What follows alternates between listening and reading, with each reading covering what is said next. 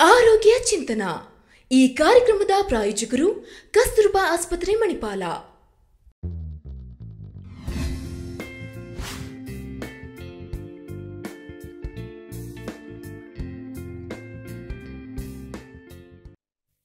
ನಮಸ್ಕಾರ ವೀಕ್ಷಕರೇ, ಕಸ್ತೂರ್ಬಾ ಆಸ್ಪತ್ರೆ, ಮಣಿಪಾಲ್ ಅರ್ಪಿಸುವ ಆರೋಗ್ಯ ಚಿಂತನಾ ಕಾರ್ಯಕ್ರಮಕ್ಕೆ ತಮಗೆಲ್ಲರಿಗೂ ಕೂಡ ಪ್ರೀತಿಯ ಸ್ವಾಗತ. ಪ್ರತಿ ವಾರ ನಾವು ಆರೋಗ್ಯಕ್ಕೆ ಸಂಬಂಧಪಟ್ಟಂತೆ ಒಂದೊಂದು ವಿಚಾರಗಳ ಬಗ್ಗೆ ನಿಮ್ಮ ನಿಮ್ಮ ಮುಂದೆ ಮಾತನಾಡ್ತಾ ಇದ್ದೇವೆ. ಅದೇ ರೀತಿ ಇವತ್ತಿನ ಸಂಚಿಕೆಯಲ್ಲಿ ನಾವು ಶ್ರವಣ ಯಂತ್ರಗಳು, ಅದರಲ್ಲಿ ಇರುವಂತಹ ನಂಬಿಕೆ ಮತ್ತು ಅಪನಂಬಿಕೆಗಳ ಕುರಿತು ಮಾತನಾಡ್ತಾ ಹೋಗ್ತೇವೆ. ಸಾಮಾನ್ಯವಾಗಿ ಶ್ರವಣ ದೋಷ ಅಂತ ಬಂದಾಗ ಶ್ರವಣ ಯಂತ್ರಗಳನ್ನ ಯೂಸ್ ಮಾಡ್ಲಿಕ್ಕೆ ಡಾಕ್ಟರ್ ಹೇಳ್ತಾರೆ. ಸೊ ಕೆಲವರಲ್ಲಿ ಸಾಕಷ್ಟು ಪ್ರಶ್ನೆಗಳಿರ್ತದೆ. ಕೆಲವೊಂದು ತಪ್ಪು ಕಲ್ಪನೆಗಳು ಕೂಡ ಇರ್ತದೆ. ಶ್ರವಣ ಯಂತ್ರಗಳನ್ನ ಉಪಯೋಗಿಸೋದ್ರಿಂದ ಕೆಲವೊಂದು ಸೈಡ್ ಎಫೆಕ್ಟ್ ಆಗ್ತದೆ. ಇನ್ನು ಹಲವು ಪ್ರಶ್ನೆಗಳು ಬರ್ತದೆ. ಸೊ ಈ ಎಲ್ಲಾ ಪ್ರಶ್ನೆಗಳಿಗೆ ಇವತ್ತಿನ ಕಾರ್ಯಕ್ರಮದಲ್ಲಿ ನಾವು ನಿಮಗೆ ಉತ್ತರವನ್ನ ನೀಡ್ತೇವೆ. ಇದ್ರ ಬಗ್ಗೆ ಸಂಪೂರ್ಣವಾದ ಮಾಹಿತಿಯನ್ನ ನೀಡೋದಕ್ಕೆ ನಮ್ಮ ಜೊತೆ ಇದ್ದಾರೆ ಡಾಕ್ಟರ್ ಶುಭಗಂಗಾ ಡಿ. ಇವರು ವಾಕ್ ಮತ್ತು ಶ್ರವಣ ವಿಭಾಗ ಇದರಲ್ಲಿ ಸಹಾಯಕ ಪ್ರಾಧ್ಯಾಪಕರಾಗಿದ್ದಾರೆ. ಕೆಎಂಸಿ ಮಣಿಪಾಲ. ಮೊದಲದಾಗಿ ಡಾಕ್ಟರ್ನ ಇವತ್ತಿನ ಕಾರ್ಯಕ್ರಮಕ್ಕೆ ಸ್ವಾಗತಿಸ್ತಾ ಇದ್ದೇನೆ. ಡಾಕ್ಟರ್, ತಮಗೆ ಕಾರ್ಯಕ್ರಮಕ್ಕೆ ಸ್ವಾಗತ. ಡಾಕ್ಟರ್ ಮುಖ್ಯವಾಗಿ ನಾವು ಇವತ್ತು ಶ್ರವಣ ಯಂತ್ರಗಳು ಮತ್ತೆ ಅದರ ಅದರಲ್ಲಿ ಇರುವಂತಹ ಒಂದು ಕೆಲವರಿಗೆ ನಂಬಿಕೆ ಇರ್ತದೆ ಕೆಲವರಿಗೆ ಅಪನಂಬಿಕೆಗಳು ಇರ್ತದೆ. ಕೆಲವರು ಅದನ್ನ ಯೂಸ್ ಮಾಡ್ತಾರೆ. ಇದರಿಂದ ನಮಗೆ ಯೂಸ್ ಉಂಟು ಅಂತ ಹೇಳಿ. ಇನ್ನು ಕೆಲವರು ಯೂಸ್ ಮಾಡ್ತಾರೆ ಬಟ್ ಕೆಲವೊಂದು ಪ್ರಶ್ನೆಗಳು ಕೂಡ ಅವರಲ್ಲಿ ಇರ್ತದೆ. ಆದ್ರೂ ಕೂಡ ಯೂಸ್ ಮಾಡ್ಕೊಂಡು ಬರ್ತಾ ಇದ್ದಾರೆ. ಸೊ ನನ್ನ ಮೊದಲನೆಯ ಪ್ರಶ್ನೆ ಡಾಕ್ಟರ್ ಈಗ ಶ್ರವಣ ದೋಷ ಅಂತ ಬಂದಾಗ ಈಗ ಡಾಕ್ಟರ್ ಹೇಳ್ತಾರೆ ಸೊ ನೀವು ಹಿಯರಿಂಗ್ ಏಡ್ ಅನ್ನ ಯೂಸ್ ಮಾಡಬೇಕು. ಆವಾಗ ಮಾತ್ರ ನಿಮ್ಗೆ ಕ್ಲಿಯರ್ ಆಗಿ ಕೇಳಿಸ್ತದೆ ಅಂತ.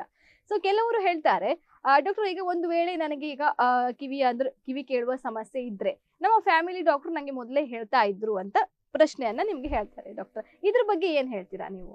ಹೌದು, ಈಗ ಫ್ಯಾಮಿಲಿ ಡಾಕ್ಟರ್ ಅಂತ ಹೇಳಿದ್ರೆ ಯೂಶಲಿ ಎಲ್ಲರೂ ಫ್ಯಾಮಿಲಿ ಡಾಕ್ಟರ್ ಅಂತ ಹೇಳಿದ್ರೆ ಜನರಲ್ ಫಿಸಿಷಿಯನ್ ಹತ್ರ ಹೋಗ್ತಾರೆ. ಈಗ ನಮಗೆ ಫೀವರು ನೆಗಡಿ, ಕೆಮ್ಮು ಅಂತ ಬಂದಾಗ ನಾವು ಫ್ಯಾಮಿಲಿ ಡಾಕ್ಟರ್ ಹತ್ರ ಹೋಗ್ಬಿಟ್ಟು ಮಾತ್ರೆ ತಗೊಂಡು ಅದನ್ನ ನಾವು ಸರಿ ಮಾಡ್ಕೋತೀವಿ. ಆದರೆ ಫ್ಯಾಮಿಲಿ ಡಾಕ್ಟರ್ ಅಂತ ಹೋದಾಗ ಅದು ಒಂದು ಒಂದು ಕ್ವಯಟ್ ರೂಮಲ್ಲಿ ನಿಮ್ಮ ಹತ್ರ ಕೂತ್ಕೊಂಡು ಅವ್ರು ನಿಮ್ಮನ್ನ ಎಕ್ಸಾಮಿನ್ ಮಾಡ್ತಾ ಕೂತಿರ್ತಾರೆ. ಆವಾಗ ನಿಮಗೆ ಅವ್ರು ಏನಾದರೂ ತೊಂದರೆ ಇದ್ರೆ ಈಗ ತುಂಬ ಕೇಳೋದೇ ಇಲ್ಲ, ನನಗೆ ಪೂರ್ತಿ ಕಿವಿ ಕೇಳ್ತಾನೆ ಇಲ್ಲ ಅಂತ ಹೇಳಿದಾಗ ಎಷ್ಟು ಹೇಳಿದ್ರು ಇವ್ರಿಗೆ ಅರ್ಥ ಆಗ್ತಾ ಅಂತ ಅವಾಗ ಬೇಕಾದ್ರೆ ನಿಮ್ಮ ಫ್ಯಾಮಿಲಿ ಡಾಕ್ಟರ್ ನಿಮ್ಮದು ತೊಂದರೆ ಇದೆ ಅಂತ ಐಡೆಂಟಿಫೈ ಮಾಡ್ಬೋದು. ಅಲ್ಲದೆ ಒಂದು ಫಾರ್ಟಿ ಪರ್ಸೆಂಟು ಒಂದು ಫಿಫ್ಟಿ ಪರ್ಸೆಂಟು ಕಿವಿ ಕೇಳಿಸೋದು ಕಮ್ಮಿ ಆಗಿದೆ ಅಂದಾಗ ನಿಮ್ಮ ಫ್ಯಾಮಿಲಿ ಡಾಕ್ಟರ್ ಆ ಕ್ವೈಟ್ ಸಿಚುವೇಶನಲ್ಲಿ ನಿಮಗೂ ಅವ್ರು ಹೇಳೋದೆಲ್ಲ ಕೇಳಿಸತ್ತೆ ಎಲ್ಲದಕ್ಕೂ ಉತ್ತರ ಕೊಡ್ತೀರಾ? ಸೊ ಅವರು ನಿಮ್ಗೆ ಏನಾದರೂ ತೊಂದರೆ ಇದೆ ಅಂತ ಅವ್ರಿಗೂ ಐಡೆಂಟಿಫೈ ಮಾಡೋಕ್ಕೆ ಆಗೋದಿಲ್ಲ ಆ ಸಿಚುವೇಶನಲ್ಲಿ ಇವಾಗ ನಿಮಗೆ ಯಾವಾಗ ಅನ್ಸುತ್ತೆ? ಈಗ ಎಷ್ಟೊಂದು ಸಿಚುವೇಶನಲ್ಲಿ ಇವಾಗ ಫೋನ್ ಮಾತಾಡ್ತಾ ಇದ್ದಾಗ ವಾಲ್ಯೂಮ್ ಜಾಸ್ತಿ ಇಡಬೇಕು ಅಂತ ಅನ್ಸೋದು. ಇಲ್ಲ ಟಿ ವಿಯಲ್ಲಿ ಎಲ್ಲರೂ ನೋಡ್ತಾ ಇದ್ದಾಗ ನಿಮಗೆ ಕೇಳಿಸಲ್ಲ ನನಗೆ ವಾಲ್ಯೂಮ್ ಜಾಸ್ತಿ ಕೊಡಿ ಅಂತ ನೀವು ಕೇಳೋದು. ಇಲ್ಲ ಅಕ್ಕಪಕ್ಕ ಇರೋರು ನಿಮಗೆ ಎಷ್ಟು ಹೇಳಿದ್ರು ಕೂಗಿದ್ರು ನೀವು ತಿರುಗಿ ನೋಡ್ತಾ ಇಲ್ಲ, ಬರ್ತಾ ಇಲ್ಲ ಅಂತ ಹೇಳೋದು. ಇಲ್ಲ ಅವ್ರು ಏನು ಹೇಳ್ತಾ ಇದ್ದಾರೆ ಅಂತ ನಾವು ತಿರ್ಗಾ ತಿರ್ಗಾ ಅವ್ರ ಹತ್ರ ವಾಪಸ್ ಏನು ಹೇಳಿದ್ರಿ ಏನು ಹೇಳಿದ್ರಿ ಅಂತ ತಿರ್ಗಾ ಎರಡು, ಮೂರು ಸತಿ ಕೇಳಿದಾಗ ನಿಮಗೆ ಅವಾಗ ಅರ್ಥ ಆಗತ್ತೆ, ಓಕೆ ನನಗೆ ಕೇಳಿಸ್ತಾ ಇಲ್ಲ ಇದು. ನಿಮಗೆ ನಿಮಗೆ ಅದು ಅನ್ಸುತ್ತೆ. ಫ್ಯಾಮಿಲಿ ಡಾಕ್ಟರ್ ಹೇಳಿನೇ ನಿಮಗೆ ಅರ್ಥ ಆಗಬೇಕು ಅಂತ ಏನಿಲ್ಲ. ಅವರು ಒಂದು ಫೋರ್ಟೀನ್ ಪರ್ಸೆಂಟ್ ಏನು ರಿಸರ್ಚ್ ಹೇಳುತ್ತೆ ಅಂತ ಹೇಳಿದ್ರೆ ಫೋರ್ಟೀನ್ ಪರ್ಸೆಂಟ್ ಕಿವಿ ಕೇಳಿಸೋ ತೊಂದರೆ ಇದೆ ಅಂತ ಫ್ಯಾಮಿಲಿ ಡಾಕ್ಟರು ಐಡೆಂಟಿಫೈ ಮಾಡಿ ಹೋಗಿ ತೋರಿಸ್ಕೊಳ್ಳಿ ಆಡಿಯೋಲಜಿಸ್ಟ್ ಹತ್ರ ಕಿವಿ ಪರೀಕ್ಷೆ ಮಾಡ್ಕೊಳ್ಳಿ, ನಿಮಗೆ ಹಿಯರಿಂಗ್ ಏಡ್ ಬೇಕಾಗ್ಬೋದು ಅಂತ ಹೇಳಿ ಕಳಿಸೋದು ಇದೆ. ಆದರೆ ಅದ್ರ ಬಿಟ್ಟು ನಿಮಗೆ ನಿಮಗೆ ನಿಮಗೆ ನಿಮ್ಗೆ ನಿಮ್ಗೆ ಅನ್ಸಿದ್ರು ನೀವು ಬಂದು ತೋರಿಸ್ಬೋದು. ಇಲ್ಲ ಬೇರೆ ಯಾವುದಾದ್ರು ಡಾಕ್ಟರು ರೆಫರ್ ಮಾಡಿದ್ರು ನೀವು ಬಂದು ಕಿವಿ ಪರೀಕ್ಷೆ ಮಾಡಿಸ್ಕೊಂಡು ಎಷ್ಟು ತೊಂದರೆ ಇದೆ ಅಂತ ನೋಡಿ ಹಿಯರಿಂಗ್ ಏಡ್ನ ಉಪಯೋಗಿಸಕ್ಕೆ ಪು- ಶುರು ಮಾಡ್ಬೋದು. ಓಕೆ ಡಾಕ್ಟರ್ ಇನ್ನು ನಮಗೆ ವರ್ಷ ಆಗ್ತಾ ಆಗದೆ ಇದು ಶ್ರವಣ ದೋಷ ಕಂಡು ಬರ್ತದೆ. ಸೊ ಕೆಲವರು ಹೇಳ್ತಾರೆ ಸೊ ನನಗೆ ಕೇಳಿಸಿಕೊಳ್ಳುವುದು ಕಡಿಮೆ ಆಗಿದೆ, ಯಾಕಂತ ಹೇಳಿದ್ರೆ ನನಗೆ ವರ್ಷ ಆಗಿದೆ ಅಂತ ಹೇಳಿ. ಸೊ ನಾವೀಗ ಮನೆಯಲ್ಲಿಗೆ ಒಂದು ಅಜ್ಜಿ ಅಥವಾ ಅಜ್ಜ ಇದ್ರೆ ಸೊ ಅವರಿಗೆ ನಾವು ಜೋರಾಗಿ ಹೇಳ್ಬೇಕಾಗ್ತದೆ. ಇಲ್ಲ ಅಂತ ಹೇಳಿದ್ರೆ ಎರಡೆರಡು ಸಲ ಹೇಳ್ಬೇಕಾಗ್ತದೆ. ಸೊ ಇದು ಸಾಮಾನ್ಯವಾ ಅಂತ ಕೆಲವ್ರಿಗೆ ಹೇಳ್ತಾರೆ ಇದ್ರ ಬಗ್ಗೆ. ಎಲ್ಲರೂ ಹೇಳ್ತಾರೆ ವಯಸ್ಸಾದಾಗ ಸಹಜಾನೆ ವಯಸ್ಸಾದಾಗ ನಿಮ್ಗೆ ಕಿವಿ ಕೇಳಿಸೋದು ಕಡಿಮೆ ಆಗೋದು ಸಹಜಾನೆ. ನರ ಹೆಂಗೆ ನರದು ಶಕ್ತಿ ಎಲ್ಲ ಕಡಿಮೆ ಆಗತ್ತೆ. ಸೊ ಅವಾಗ ಏ- ನರ ಫಂಕ್ಷನ್ ಆಗೋದೆಲ್ಲ ಕಡಿಮೆ ಆದಾಗ ನಿಮ್ಗೆ ಕೇಳಿಸೋದು ಕಡಿಮೆ ಆಗೇ ಆಗತ್ತೆ. ಹೆಂಗೆ ನಿಮ್ಗೆ ಕಿವಿ ವಯಸ್ಸಾದಾಗ ಕಣ್ಣು ಕಾಣಿಸೋದು ಕಮ್ಮಿ ಆಗತ್ತೋ ಕಾಲ್ ನೋವು ಜಾಸ್ತಿ ಆಗತ್ತೋ ಅದೇ ತರ ಕಿವಿ ಕೇಳಿಸೋದು ಕಮ್ಮಿ ಆಗತ್ತೆ. ಸಹಜ ಅಂತ ಹೇಳ್ಬಿಟ್ಟು ಅದು ನಾರ್ಮಲ್ ಅಲ್ಲ. ಈಗ ಸಹಜ ಅಂತ ಆದ್ರೂ ನೀವು ಆ ಕಿವಿ ಕೇಳ್ಸೋದ್ ಕಮ್ಮಿ ಆದಾಗ ಬೇರೆಯವರು ತಿರ್ಗಾ ತಿರ್ಗಾ ಹೇಳ್ಬೇಕಾಗತ್ತೆ. ಅವ್ರು ಏನ್ ಹೇಳ್ತಾ ಇದ್ದಾರೆ ಅಂತ ನಿಮ್ಗೆ ಅರ್ಥ ಆಗದೆ ಇರುವಾಗ ನಿಮಗೂ ಅದು ಒಂದು ಒಂಥರ ಕಷ್ಟ ಆಗತ್ತೆ. ಸೊ ನಾಲ್ಕು ಜನ ಥರ ಮಾತಾಡಬೇಕು, ಅವ್ರು ಏನ್ ಹೇಳ್ತಾ ಇದ್ದಾರೆ ನಮಗೆ ಕೇಳಿಸ್ಕೋಬೇಕು ಅಂತ ಹೇಳಿದಾಗ ನೀವು ಹೋಗಿ ಅದನ್ನ ಪರೀಕ್ಷೆ ಮಾಡಿಸ್ಕೊಂಡು ಅದು ಸಹಜ ಆಗಿದ್ರು ಅದಕ್ಕೆ ನೀವು ಪರೀಕ್ಷೆ ಮಾಡಿ ನಮ್ಗೆ ಎಷ್ಟು ಕಷ್ಟ ಇದೆ, ಏನು ತೊಂದರೆ ಇದೆ, ಎಷ್ಟು ಕಿವಿ ಕೇಳಿಸ್ತಾ ಇಲ್ಲ ಅಂತ ಒಂದು ಆಡಿಯೋಲಜಿಸ್ಟ್ ಹತ್ರ ಚೆನ್ನಾಗಿ ಪರೀಕ್ಷೆ ಮಾಡಿಸ್ಕೊಂಡು ನೀವು ಅದಕ್ಕೆ ಕಿವಿ ಹಿಯರಿಂಗ್ ಏಡ್ ಹಾಕೊಳ್ಳೋಕೆ ಹೇಳಿದ್ರೆ ಹಾಕೊಂಡು ಉಪಯೋಗಿಸಿದ್ರೆ ನಿಮ್ಗೆ ಅದು ಉಪಯೋಗ ಬರುತ್ತೆ. ಓಕೆ. ಇನ್ನು ಹಿಯರಿಂಗ್ ಏಡ್ ಅನ್ನ ಬಳಸೋದ್ರಿಂದ ಶ್ರವಣ ದೋಷ ಕಡಿಮೆ ಆಗ್ತದೆ. ಕೆಲವರು ಹೇಳ್ತಾರೆ. ಸೊ ಇದು ಹೌದಾ ಡಾಕ್ಟರ್? ಶ್ರವಣ ದೋಷ ಕಡಿಮೆ ಆಗಲ್ಲ. ಹಿಯರಿಂಗ್ ಏಡ್ ನೀವು ಉಪಯೋಗಿಸೋದ್ರಿಂದ ಶ್ರವಣ ದೋಷ ದೋಷ ಟೋಟಲಿ ಕಡಿಮೆ ಆಗ್ಬಿಡಲ್ಲ. ಈಗ ಎಕ್ಸಾಂಪಲ್ಗೆ ಹೇಳಬೇಕು ಅಂತ ಹೇಳಿದ್ರೆ ನಿಮ್ಗೆ ನನಗೆ ಕಣ್ಣು ಸರಿಗೆ ಕಾಣ್ತಾ ಇಲ್ಲ ಅಂತ ಹೋಗಿ ತೋರಿಸಿ ನೀವು ಆ ಕನ್ನಡಕ ಹಾಕೊಂಡು ಬರ್ತೀರಾ ಅಂತ ಅನ್ಕೊಳ್ಳಿ. ಈಗ ನಾನು ಕನ್ನಡಕ ಹಾಕೊಂಡ ತಕ್ಷಣ ನನ್ನ ಕಣ್ಣು ಸರಿ ಹೋಗುತ್ತೆ ಅಂತ ಹೇಳಿದ್ರೆ ಅದು ಸರಿ ಆಗಲ್ಲ ಅಲ್ವಾ. ಕನ್ನಡಕ ಹಾಕೊಂಡ್ರೆ ನಿಮ್ಗೆ ಕಣ್ಣು ಚೆನ್ನಾಗಿ ಕಾಣುತ್ತೆ ಅದು ತೆಗ್ದು ಇಟ್ಬಿಟ್ರೆ ನಿಮ್ಗೆ ಕಣ್ಣು ಕಾಣಲ್ಲ. ಅದೇ ತರಾನೇ ಹಿಯರಿಂಗ್ ಏಡನು ಒಂದು ಮಿಷನು ಅಷ್ಟೇ ಅದನ್ನ ಹಾಕೊಂಡ್ರೆ ನಿಮ್ಗೆ ಕೇಳಿಸುತ್ತೆ ಅದು ಹಾಕೊಂಡಿಲ್ಲ ಅಂದ್ರೆ ಕೇಳಿಸಲ್ಲ. ಈಗ ನಿಮ್ಗೆ ಕ್ಯೂರ್ ಆಗುತ್ತೆ ಅಂತ ಹೇಳಿದ್ರೆ ಪೂರ್ತಿ ಕ್ಯೂರ್ ಆಗ್ಬಿಡಲ್ಲ. ಈಗ ಕಿವಿ ಕಿವಿ ಕೇಳಿಸೋದು ಇಂಪ್ರೂವ್ ಆಗುತ್ತೆ ಬಿಟ್ರೆ ಕಿವಿ ಕೇಳಿಸೋದು ಎಷ್ಟು ಏನು ತೊಂದರೆ ಇದೆ ಅದು ಕ್ಯೂರ್ ಆಗಲ್ಲ. ಈಗ ನಿಮಗೆ ಹೊರಗನ್ ಕಿವಿ ತೊಂದರೆ, ಇಲ್ಲ ಒಳಗನ್ ಮಧ್ಯ ಕಿವಿ ತೊಂದರೆ ಅಂತ ಹೇಳಿದಾಗ ಇನ್ಫೆಕ್ಷನ್ನು ಇಲ್ಲ ನಿಮಗೆ ಏನಾದರೂ ಆಗಿರ್ಬೋದು, ಇಲ್ಲ ಗುಗ್ಗೆ ಕಟ್ಕೊಂಡಿರ್ಬೋದು, ಅದನ್ನ ಸರಿ ಮಾಡ್ಬೋದು, ಅದನ್ನ ಒಂದು ಔಷಧಿ ಕೊಟ್ಟು ಮಾಡಿ ಸರಿ ಮಾಡ್ಬೋದು ಬಿಟ್ರೆ ಈಗ ನೀವು ಹಿಯರಿಂಗ್ ಏಡ್ ಹಾಕಿದ ತಕ್ಷಣ ಅದು ಕೇಳಿಸ್ಬಿಡುತ್ತೆ, ನಿಮಗೆ ಕ್ಯೂರ್ ಆಗಿಬಿಡುತ್ತೆ ಕಿವಿ ಕೇಳಿಸ್ದೇ ಇರೋ ತೊಂದರೆ ಅಂತ ಇಲ್ಲ. ಯಾಕಂದ್ರೆ ಇದು ಒಳಗಡೆ ಕಿವಿಯಲ್ಲಿ ನಿಮಗೆ ತೊಂದರೆ ಆಗಿರೋದು. ನರಗಳು ವೀಕ್ ಆಗಿರುತ್ತೆ. ಸೊ ಅದರಿಂದ ನಿಮ್ಗೆ ಕೇಳಿಸ್ದೇ ಇರ್ಬೋದು ಈಗ ನೀವು ಮಿಷನ್ ಹಾಕಿದ ತಕ್ಷಣ ಅದು ನಿಮಗೆ ಎಲ್ಲ ಸರಿ ಆಗ್ಬಿಟ್ಟು ಮಿಷನ್ ಇಲ್ಲದೇನೋ ಚೆನ್ನಾಗಿ ಕೇಳಿಸುತ್ತೆ ಅನ್ನೋದು ಆಗೋದೇ ಇಲ್ಲ. ಅದು ಏನು ಮ್ಯಾಜಿಕ್ ಮಿರಾಕಲ್ ಇಲ್ಲ, ಇದು ಔಷಧಿ ಮಾತ್ರೆ ಏನು ಇಲ್ಲ. ಲೈಕ್ ನಾವು ತಲೆನೋವು ಬಂದಾಗ ಮಾತ್ರೆ ತಗೊಂಡು, ಮಾತ್ರೆ ತಗೊಂಡಾದ್ಮೇಲೆ ತಲೆನೋವು ಹೋಗ್ಬಿಡತ್ತೆ.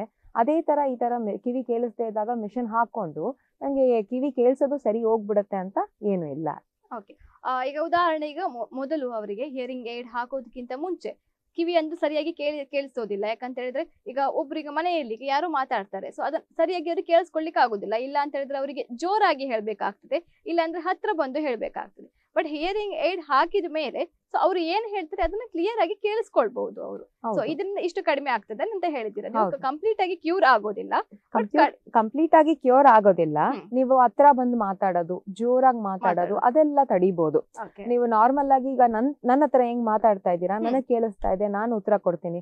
ಪಕ್ಕದ ರೂಮ್ ಇಂದ ನನ್ನ ಕರೆದ್ರು ನನಗೆ ಕೇಳಿಸುತ್ತೆ ಏನಾದ್ರು ಹೇಳಿದ್ರು ನನಗೆ ಕೇಳಿಸುತ್ತೆ. ಅದೇ ತರ ನೀವು ಮಿಷನ್ ಹಾಕೊಂಡ್ರು ಕಿವಿ ಕೇಳಿಸ್ತಾ ಇಲ್ಲ ಹಿಯರಿಂಗ್ ಏಡ್ ಹಾಕೊಂಡ್ರು ನಿಮ್ಗೆ ಅವಾಗ ನಾರ್ಮಲ್ ಆಗಿ ಜನ ನಿಮ್ಗೆ ಅವ್ರಿಗೆ ಕಿವಿ ತೊಂದ್ರೆ ಬರಕ್ಕಿಂತ ಮುಂಚೆ ಹೆಂಗಿದ್ರು ಹಂಗೇನೆ ಅವರು ಫಂಕ್ಷನ್ ಆಗ್ಬೋದು. ಓಕೆ ಮತ್ತೆ ಇನ್ನು ಕೆಲವರು ಹೇಳ್ತಾರೆ ಡಾಕ್ಟರ್ ಈಗ ಹಿಯರಿಂಗ್ ಏಡ್ ಅನ್ನ ಯೂಸ್ ಮಾಡೋದ್ರಿಂದ ಸೈಡ್ ಎಫೆಕ್ಟ್ ಇರ್ತದೆ ಅಂತ ಹೇಳ್ತಾರೆ. ಸೊ ಇದು ನಿಜವಾಗ್ಲೂ ಹೌದಾ? ಸೈಡ್ ಎಫೆಕ್ಟ್ ಉಂಟಾ ಇದು ಹಾಕೋದ್ರಿಂದ ಸೈಡ್ ಎಫೆಕ್ಟ್ ಏನಿಲ್ಲ. ಇನ್ನೊಂದು ಮಾತ್ರೆ, ಔಷಧಿ ಏನು ಕೊಡ್ತಾ ಇಲ್ಲ ನಿಮಗೆ ಸೈಡ್ ಎಫೆಕ್ಟ್ ಬರಕ್ಕೆ. ಇದು ಒಂದು ಮೆಡಿಕಲ್ ಡಿವೈಸ್ ಅಷ್ಟೇ. ನೀವು ಕಿವಿಯಿಂದ ಆಚೆ ಹಿಂದೆ ಒಂದು ಮಿಷನ್ ಹಾಕೋತೀರಾ ಅದರಿಂದ ಯಾವ ಸೈಡ್ ಎಫೆಕ್ಟು ಆಗಲ್ಲ. ನಿಮಗೆ ಸ್ಟಾರ್ಟಿಂಗಲ್ಲಿ ಏನೋ ಇದೆ, ಕಿವಿಯಲ್ಲಿ ಏನೋ ಕಿವಿ ಕಿವಿಯಲ್ಲಿ ಇದೆ ಅಂತ ಅನ್ನಿಸ್ಬೋದು. ಬಿಟ್ರೆ ಒಂದ್ ಸ್ವಲ್ಪ ಆ, ಕಿವಿಲಿ ಏನೋ ಇದೆ ಅಂತ ಅನ್ನೋದಿಂದ ನಿಮಗೆ ತಲೆನೋವು ಅದು ಇದು ಎಲ್ಲ ಬರ್ಬೋದು. ಸ್ಟಾರ್ಟಿಂಗ್ ಅಲ್ಲಿ ಒಂದ್ ಎರಡು ದಿವಸ ಅದೇನೋ ತಲೆನೋವು ಅಂತ ಬರುತ್ತೆ. ಅದು ಬಿಟ್ರೆ ಅದು ನಿಮ್ಮ ಥಾಟ್ ಪ್ರಾಸೆಸ್ ಅಂತ ಬರೋದು. ಆ ಮಿಷಿನಿಂದ ನಿಮ್ಗೆ ತಲೆನೋವು ಬರುತ್ತಾ? ಇಲ್ಲ ಸೈಡ್ ಎಫೆಕ್ಟ್ಸ್ ಆಗುತ್ತೋ? ಅಯ್ಯೋ ಬೇರೆ ಏನಾದರೂ ಆಗುತ್ತೆ ಅಂತ ಹೇಳಿ ಏನು ಸೈಡ್ ಎಫೆಕ್ಟ್ಸ್ ಇರಲ್ಲ. ಏ ನಿಮಗೆ ಕೇಳ್ಸಕ್ಕೆ ನಿಮ್ಗೇನೆ ಜಾಸ್ತಿ ಉಪಯೋಗ ಆಗುತ್ತೆ. ದಿನನಿತ್ಯ ಕಾರ್ಯಗಳನ್ನ ಚೆನ್ನಾಗಿ ಮಾಡಕ್ಕೆ ನಿಮ್ಗೇನೆ ಅದು ಯೂಸ್ಫುಲ್ ಆಗಿರುತ್ತೆ. ಓಕೆ ಇನ್ನು ಕೆಲವರು ಮತ್ತೆ ಹೇರಿಂಗ್ ತುಂಬಾ ದುಬಾರಿ ನಮ್ಗೆ ಕೊಂಡ್ಕೊಳ್ಳಿಕ್ ಆಗುದಿಲ್ಲ ಹೇಳ್ತಾರೆ. ಕಾಸ್ಟ್ ಎಷ್ಟಿರ್ತದೆ ಡಾಕ್ಟರ್ ಇದು ತುಂಬಾ ಕಾಸ್ಟ್ ಜಾಸ್ತಿ? ಕಾಸ್ಟ್ಲಿನೇ ಇರಬೇಕು ಅಂತ ಏನಿಲ್ಲ ಹಿಯರಿಂಗ್ ಏಡ್ ಅಲ್ಲಿ. ಈಗ ನೀವು ಹತ್ತು ಸಾವಿರ ಹಿಯರಿಂಗ್ ಏಡೋ ಸಿಗುತ್ತೆ ಎರಡೂವರೆ ಲಕ್ಷ ಹಿಯರಿಂಗ್ ಏಡೋ ಸಿಗುತ್ತೆ. ಇವಾಗ ಇವಾಗ ನೀವು ತಗೊಂಡ್ರೆ ನಾವು ಮೊಬೈಲ್ ಎರಡು ಎರಡು ಸಾವಿರಕ್ಕೂ ಮೊಬೈಲ್ ಸಿಗುತ್ತೆ. ಒಂದ್ ಲಕ್ಷಕ್ಕೂ ಮೊಬೈಲ್ ಸಿಗುತ್ತೆ. ಎರಡು ಸಾವಿರ ಮೊಬೈಲ್ ಅಲ್ಲೂ ಫೋನ್ ಬರುತ್ತೆ ಫೋನ್ ತಗೊಂಡು ಹಲೋ ಅಂತ ಮಾತಾಡ್ತೀವಿ. ಎರಡು ಲಕ್ಷ ಕೊಟ್ಟು ನಾವು ಫೋನ್ ತಗೊಂಡ್ರು ನಾವು ಫೋನ್ ತಗೊಂಡು ಹಲೋ ಅಂತ ಮಾತಾಡ್ತೀವಿ. ಸೊ ಹಿಯರಿಂಗ್ ಏಡು ಕಾಸ್ಟ್ಲಿನೂ ಇದೆ ಕಮ್ಮಿನೂ ಇದೆ.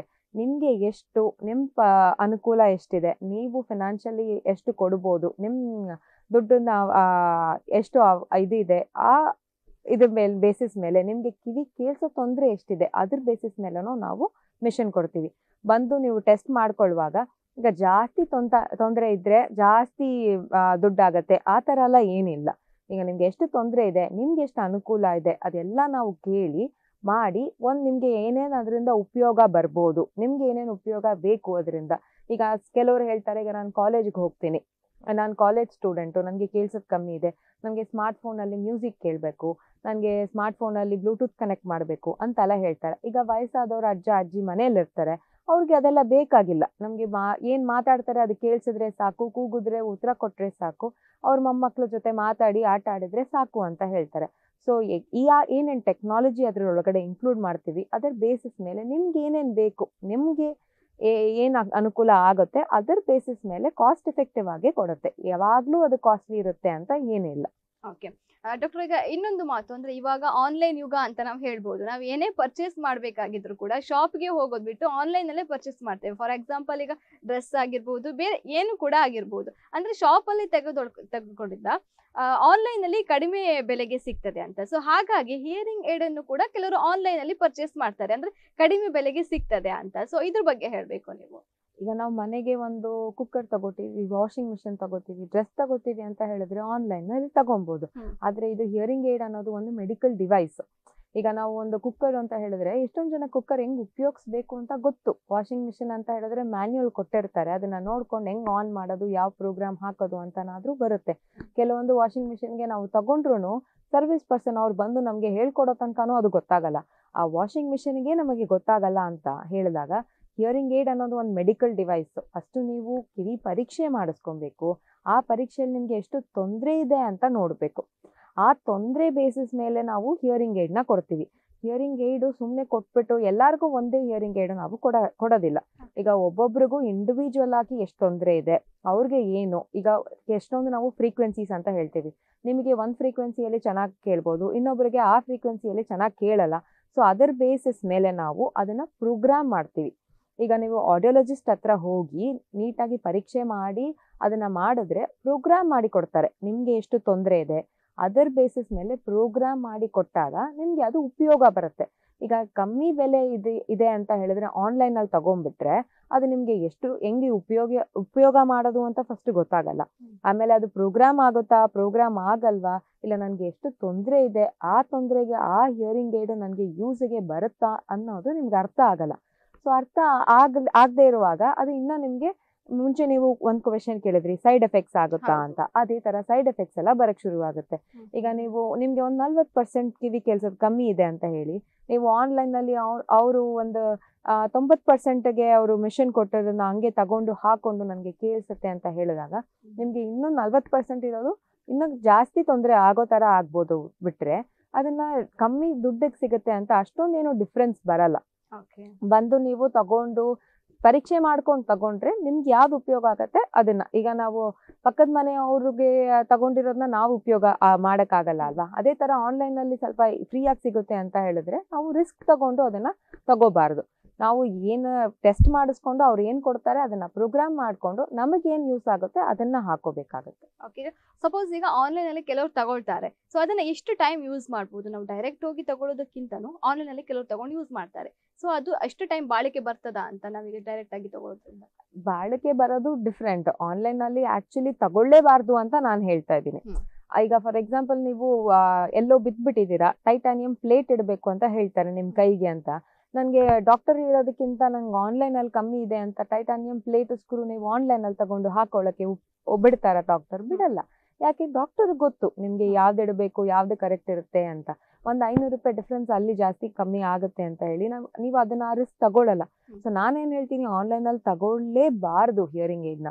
ನೀವು ಬಂದು ಪರೀಕ್ಷೆ ಮಾಡಿಸ್ಕೊಂಡು ನಿಮ್ಗೆ ಎಷ್ಟು ತೊಂದರೆ ಇದೆ ಅದಕ್ಕೆ ಬೇಸಿಸ್ ಮೇಲೆ ಹಿಯರಿಂಗ್ ಏಡು ನಿಮ್ದು ರೇಂಜು ಎಲ್ಲಾನು ಹೇಳಿದ್ರೆ ಅದಕ್ಕೆ ಬೇಸಿಸ್ ಮೇಲೆ ಕೊಡ್ತಾರೆ. ಅದನ್ನ ಬೇ ಅದನ್ನ ತಗೊಂಡು ನೀವು ಉಪಯೋಗಬೇಕು. ಯಾವಾಗಲೂ ಆನ್ಲೈನ್ ಇಯರಿಂಗ್ ಹಿಯರಿಂಗ್ ಏಡ್ ಎಲ್ಲ ತಗೊಳಕ್ ಹೋಗ್ಲೇಬೇಡಿ ಅಂತ ನಾನು ಇದು ಮಾಡ್ತೀನಿ. ಓಕೆ ಸಪೋಸ್ ಈಗ ಡಾಕ್ಟರ್ ಈಗ ಅಡ್ವೈಸ್ ಮಾಡ್ತಾರೆ ಹಿಯರಿಂಗ್ ಏಡ್ ಅನ್ನ ಯೂಸ್ ಮಾಡಿ ಅಂತ. ಸೊ ಅದು ಹೇಗೆ ಡಾಕ್ಟರ್ ಅಂದ್ರೆ ಏಜ್ ವೈಸ್ ನಾವು ಇರ್ತದ. ಅಂದ್ರೆ ಈಗ ಸಪೋಸ್ ಈಗ ಕಾಲೇಜ್ ಸ್ಟೂಡೆಂಟ್ ಇರ್ತಾರೆ. ಸೊ ಅವರಿಗೆ ಈ ಪ್ರಾಬ್ಲಮ್ ಇರ್ತದೆ. ಅವರಿಗೂ ಮತ್ತೆ ಈಗ ಸ್ವಲ್ಪ ದೊಡ್ಡವರು ಈಗ ಅಂದ್ರೆ age of above forty years ಅಂತ ಅನ್ಕೊಳ್ವಾ. ಸೊ ಅವರಿಗೂ ಕೂಡ ಅಂದ್ರೆ ಬೇರೆ ಇರ್ತದ ಅಂತ? ಹೇಗೆ ಅದು ಸೈಜ್ ಯಾವ ರೀತಿಯಲ್ಲಿ ಇರ್ತದೆ? ನೀವು ಸೈಜ್ ಬಗ್ಗೆ ಕೇಳಿದ್ರೆ ಚಿಕ್ಕದು completely invisible in the canal ಅಂತ ಹೇಳ್ತೀವಿ. ಅದರಿಂದಾನೂ ಇದೆ.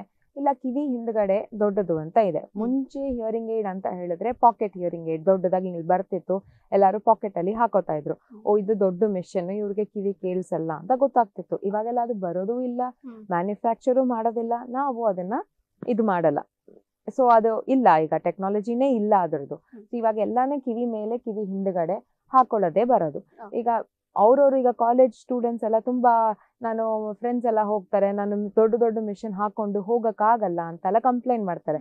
ಸೊ ಅವ್ರಿಗೆ ತೊಂದರೆ ಮೇಲೆ ಬೇಸಿಸ್ ಆಗುತ್ತೆ ಮೇಡಮ್ ಆಕ್ಚುಲಿ ಈಗ ತೊಂದರೆ ನಿಮ್ಗೆ ಕಮ್ಮಿ ಇದ್ರೆ ಒಂದು ಸ್ವಲ್ಪ ನಲ್ವತ್ತು ಐವತ್ತು ಪರ್ಸೆಂಟ್ ಕಿವಿ ಕೇಳಿಸೋದು ಕಮ್ಮಿ ಇದೆ ಅಂತ ಹೇಳಿದ್ರೆ ನಿಮ್ಗೆ ಕಂಪ್ಲೀಟ್ಲಿ ಕಿವಿ ಒಳಗಡೆ ಹಾಕೊಳ್ಳೋದು ಬಂದೇ ಬರುತ್ತೆ. ಇಲ್ಲ ತೊಂದರೆ ತೊಂದ್ರೆ ಜಾಸ್ತಿ ಇದೆ ಅಂತ ಹೇಳಿದ್ರೆ ಕಿವಿ ಹಿಂದೆ ಹಾಕೊಳ್ಳೋದು ಹಾಕೋಬೇಕಾಗತ್ತೆ.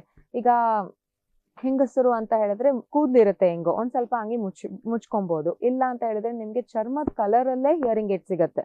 ಸೊ ಅದು ಕಿವಿ ಹಿಂದ್ಗಡೆ ಇದ್ದಾಗ ನಿಮ್ಗೆ ಅದು ಗೊತ್ತೇ ಆಗಲ್ಲ. ಚರ್ಮದ ಕಲರ್ ಕಲರ್ ಅಲ್ಲೇ ಇರೋದ್ರಿಂದ ಅದು ಒಂದು ಮಿಷನ್ ಇದೆ ಅಂತಾನು ಗೊತ್ತಾಗಲ್ಲ.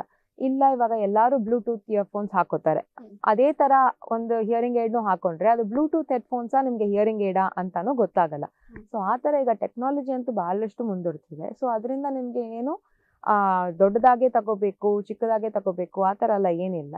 ಕಾಲೇಜ್ ಮಕ್ಳಿಗೆ ಅವ್ರಿಗೆ ಏನೇನು ಬೇಕು, ಅವ್ರ ಉಪಯೋಗಕ್ಕೆ ಏನೇನು ಆಗುತ್ತೆ ಅದನ್ನ ತಗೊಬೋದು. ಈಗ ಮನೇಲಿರೋರು ಅಜ್ಜ, ಅಜ್ಜಿ ಅಂತ ಹೇಳಿದ್ರೆ ಅದು ಬೇಕಾದ್ರೆ ಅವರಿಗೆ ಸುಮ್ಮನೆ ಮಾತಾಡಕ್ಕೆ ಮತ್ತೆ ಬೇರೆಯವ್ರ ಹತ್ರ ಕೇಳಿಸ್ಕೊಳಕ್ಕೆ ಅಷ್ಟಕ್ಕೆ ಮಾತ್ರ ತಗೊಂಡ್ರೆ ಆಗುತ್ತೆ. ಓಕೆ ಇನ್ನು ಕೆಲವರಿಗೆ ಈಗ ಕಾಲೇಜ್ ಸ್ಟೂಡೆಂಟ್ ಅವರ ಅಂದ್ರೆ ವರ್ಕಿಂಗ್ಗೆ ಯಾರು ಹೋಗ್ತಾರೆ ಸೊ ಅವರ ವಿಷಯದಲ್ಲಿ ನಾವು ಮಾತನಾಡೋದಾದ್ರೆ, ಅವರಿಗೂ ಕೂಡ ಇದು ಶ್ರವಣ ದೋಷ ಇರ್ತದೆ. ಅವಾಗ ಅವ್ರಿಗೆ ಹಿಯರಿಂಗ್ ಏಡ್ ಯೂಸ್ ಮಾಡ್ಬೇಕಾಗ್ತದೆ. ಅವಾಗ ಅವ್ರು ಏನ್ ಹೇಳ್ತಾರೆ ಅಂತ ಹೇಳಿದ್ರೆ ಸೊ ನಂಗಿನ್ನು ಏಜ್ ಚಿಕ್ಕದಲ್ವಾ? ಯೂಸ್ ಮಾಡದೇ ಇದ್ರು ಓಕೆ ಅಂತ ಹೇಳ್ತಾರೆ. ಮತ್ತೆ ಮುಂದೆ ಏನಾದ್ರು ಪ್ರಾಬ್ಲಮ್ ಆದಾಗ ಏಜ್ ಆದಾಗ ಹಾಕೊಳ್ಬಹುದು ಅಂತ ಹೇಳಿ. ಸೊ ಇದು ಎಷ್ಟರ ಮಟ್ಟಿಗೆ ನೀ ಸರಿ ಅಂತ ಡಾಕ್ಟರ್ ಹೇಳ್ಬೇಕು ನೀವು. ನಾವು ಸರಿ ಅಂತ ಅದನ್ನ ಹೇಳಕ್ ಆಗಲ್ಲ ಯಾಕೆ ಅಂತ ಹೇಳಿದ್ರೆ ಕಿವಿ ಕೇಳಿಸೋ ತೊಂದ್ರೆ ಕಾಲೇಜ್ ಮಕ್ಳಿಗೆ ಬರಬೇಕು ಇಲ್ಲ ವಯಸ್ಸಾದವ್ರಿಗೆ ಬರಬೇಕು ಅಂತ ಏನಿಲ್ಲ. ಹುಟ್ಟಿದ ಮಗುವಿಂದಾನು ಕಿವಿ ಕೇಳಿಸೋ ತೊಂದ್ರೆ ಇರುತ್ತೆ. ಈಗ ಮಗು ಹುಟ್ಟಿ ಒಂದು ವರ್ಷಕ್ಕೆ ಒಂದು ಒಂದ್ ತಿಂಗಳಿಗೆ ಅಂತಲೇ ನಾವು ಕಿವಿಯಲ್ಲಿ ಪ್ರಾಬ್ಲಮ್ ಇದೆ, ಕೇಳಿಸ್ತಾ ಇಲ್ಲ ಅಂತ ಹೇಳಿದಾಗ ಹಿಯರಿಂಗ್ ಏಡ್ ಫಿಟ್ ಮಾಡ್ತೀವಿ. ಒಂದು ತಿಂಗಳು ಮಗುನೇ ಕಿವಿ ಹಿಯರಿಂಗ್ ಏಡ್ ಫಿಟ್ ಮಾಡಿದಾಗ ಕಾಲೇಜ್ ಹೋಗೋಕ್ಕೂ ಒಂದು ಇಪ್ಪತ್ತೈದು ಇಪ್ಪತ್ತೈದು ವರ್- ವರ್ಷ ಇರೋರಿಗೆ ಪ್ರಾಬ್ಲಮ್ ಇರಬಾರ್ದು. ಬೇರೆಯವ್ರು ಏನು ಅಂತಾರೆ, ಬೇರೆಯವ್ರು ಏನು ಅನ್ಕೋತಾರೆ, ನನಗೆ ಮಿಷನ್ ಹಾಕೊಂಡ್ರೆ ಅಂತ ಅನ್ನೋಕ್ಕೆ ಬದಲು ನಾನು ಒಂದು ನಾಲ್ಕು ಜನನ ಹತ್ರ ಮಾತಾಡಬೇಕು. ನಾಲ್ಕು ಜನ ಮಾತಾಡಿದಾಗ ನನಗೆ ಕೇಳಿಸ್ಬೇಕು, ಆ ಕಷ್ಟ ನನಗೆ ಆಗಬಾರ್ದು ಅಂತ ಹೇಳಿದಾಗ ಯಾವುದೇ ವಯಸ್ಸಾದ್ರೂ ಹಿಯರಿಂಗ್ ಏಡ್ ಹಾಕ್ಕೊಂಡ್ರೆ ಒಳ್ಳೇದು. ಏನ್ ತೊಂದ್ರೆ ಇದೆ ಅದಕ್ಕೋಸ್ಕರ ನೀವು ಏನಾದರೂ ಮಾಡಿದ್ರೆ ಮಾತ್ರ ನೀವು ಇದಾಗೋದು ಇಲ್ಲ ಅಂತ ಹೇಳಿದ್ರೆ ನಿಮಗೆ ಕಷ್ಟ ಆಗತ್ತೆ. ಅವ್ರ ಏನ್ ಹೇಳ್ತಾರೆ ನಿಮಗೆ ಅರ್ಥ ಆಗಲ್ಲ. ಅವ್ರೇನೋ ಕೇಳಕ್ಕೆ ನೀವೇನೋ ಹೇಳಂಗ ಆಗ್ಬಿಡುತ್ತೆ. ಸೊ ದಯವಿಟ್ಟು ಅದಕ್ಕೆಲ್ಲ ಯಾಕೆ ನೀವು ಅದೇ ಇದಕ್ಕೆಲ್ಲ ಒಂದು ಇದ್ ಕೊಡೋದ್ ಬದಲು ನೀವು ಅದೇನ್ ತೊಂದ್ರೆ ಇದೆ ಅದನ್ನ ಹಾಕೋಬಹುದು. ಇವಾಗ ಎಷ್ಟೊಂದು ಈಗ ಎಷ್ಟೊಂದು ವರ್ಷದಿಂದ ಸ್ಪೆಕ್ಸ್ ಹಾಕೊಂಡ್ರೆ ಬೇರೆ ತರ ನೋಡ್ತಾ ಇದ್ರು. ಇವಾಗ ಸಮಾಜ ಅದನ್ನ ಒಪ್ಕೊಂಡಿದೆ. ಅದೇ ತರ ಹಿಯರಿಂಗ್ ಏಡ್ನು ಒಪ್ಕೊಂಡ್ ಬರ್ತಾ ಇದೆ. ಸೊ ಅದ್ರಲ್ಲಿ ಏನು ತೊಂದರೆ ಆಗಲ್ಲ ನೀವು. ಈಗ ಏನ್ ನಿಮ್ಗೆ ಯಾರು ಇದು ಮಾಡಲ್ಲ, ಅಯ್ಯೋ, ಇದೇನ್ ಕಿವಿ ಕೇಳಿಸಲ್ಲ, ಏನೋ ಮಿಷನ್ ಹಾಕೊಂಡಿದ್ದಾರೆ. ಇವಾಗೆಲ್ಲ ಎಲ್ಲರೂ ಒಪ್ಕೋತಾರೆ. ಕೇಳಿಸ್ತಾ ಹಾಕೊಂಡಿದ್ದಾರೆ. ಹಾಕೊಂಡಿಲ್ಲ ಅಂದಾಗ ನೀವು ತಿರ್ಗಾ ತಿರ್ಗಾ ಅವ್ರನ್ನ ಏನ್ ಹೇಳ್ತಿದ್ದೀರಾ ಅಂತ ಕೇಳಿದಾಗ ಮಾತ್ರ ಅದು ಪ್ರಾಬ್ಲಮ್ ಆಗೋದು. ಹಾಕೊಂಡಿದ್ರೆ ಯಾರು ಏನು ಕೇಳಲ್ಲ. ನಿಮಗೆ ಖುಷಿಯಾಗಿದ್ಯಾ? ನಿಮಗೆ ಕೇಳಿಸ್ತಾ ಇದೆಯಾ? ಅದನ್ನ ನೋಡ್ಕೊಂಡು ಹಾಕೊಳ್ಳೇಬೇಕು. ವಯಸ್ಸಿದ್ನ ನೋಡಬಾರ್ದು. ಇನ್ನು ಕೆಲವರು ಅದೇ ಇನ್ನೊಂದು ಪ್ರಶ್ನೆ ಬರ್ತದೆ. ಸೊ ನನಗೆ ಏಜ್ ಸ್ವಲ್ಪ ಜಾಸ್ತಿ ಆದಂಗೆ ಕಾಣ್ತದೆ. ಸಪೋಸ್ ಈಗ ದೊಡ್ಡ ಇಯರಿಂಗ್ ಏಡ್ ಹಾಕ್ಬೇಕಿದ್ರೆ ಅವ್ರು ಹೇಳ್ತಾರೆ ಇವ್ ನಾನು ಇನ್ನೂ ಚಿಕ್ಕವಳು ಬಟ್ ಇದನ್ನ ನಂಗೆ ಹಾಕಿದ್ರೆ ತುಂಬಾ ದೊಡ್ಡವಳ ತರ ಕಾಣ್ತೇನೆ ಏಜ್ ಆದ ತರ ಕಾಣ್ತಾರೆ ಅಂತ ಹೇಳ್ತಾರೆ. ಅದ್ರ ಬೇರೆಯವ್ರ ಜೊತೆ ಶೇರ್ ಮಾಡ್ಕೊಳ್ತಾರೆ ಫ್ರೆಂಡ್ಸ್ ಜೊತೆ.